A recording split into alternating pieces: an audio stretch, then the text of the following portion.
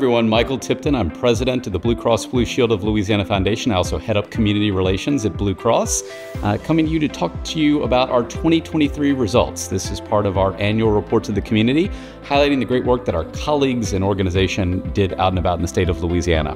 2023 was a unique year with challenges and opportunities, uh, but as always, our colleagues stepped up. Uh, we had thousands of volunteer hours, in fact, 45,000 volunteer hours in the state of Louisiana last year, serving hundreds of nonprofits throughout the state. Our employees gave more than $3 million of their own donations, which we were happy to match. And as a business, we were glad to be able to support hundreds of nonprofit organizations across our state, investing more than 1.2 million in corporate sponsorships, uh, tons of people volunteering on nonprofit boards and engaged uh, in a variety of ways throughout our state. So, very much proud of our colleagues and all the ways they're stepping up to support the people of Louisiana.